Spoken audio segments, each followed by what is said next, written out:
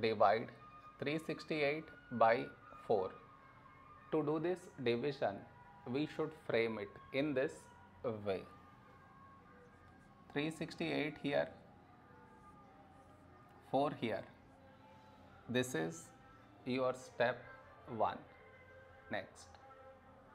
Here we have 3, here 4. 3 smaller than 4. So we should take two numbers 36. When do we get 36? In 4 table.